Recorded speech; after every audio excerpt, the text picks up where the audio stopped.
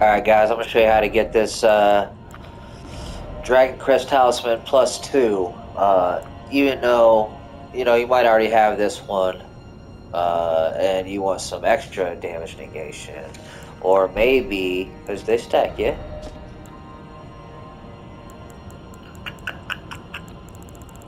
I'm pretty sure they stack.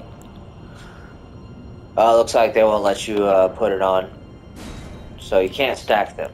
But if you don't have this one because you haven't made it to the Haligtree, you know, maybe you want to get your hands on this one. Or maybe you haven't made it to the Haligtree yet and you find yourself in Farum Azula right now.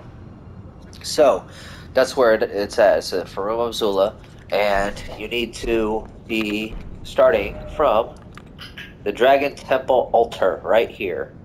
Alright? And all we're going to do, simple, this is right after you beat the Godskin duo. So we're just to run down here. It's very, very easy to get to.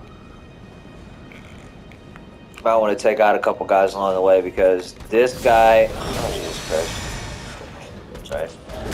This guy will follow you. And so this guy. Oh. Lord have mercy. Alright.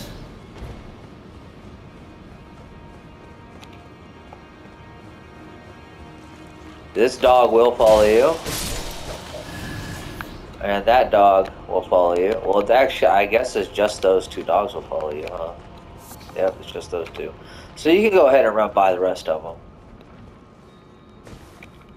But these two dogs will definitely follow you.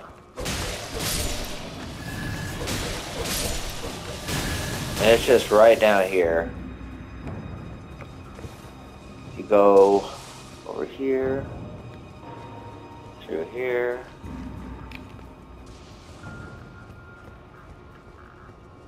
And you'll be able to see it when you, you'll be able to see it right there once you uh, once you jump down here.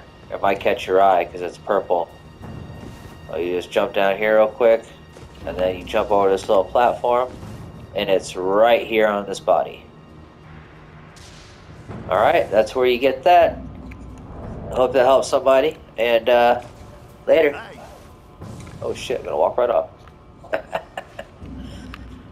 Have a good one.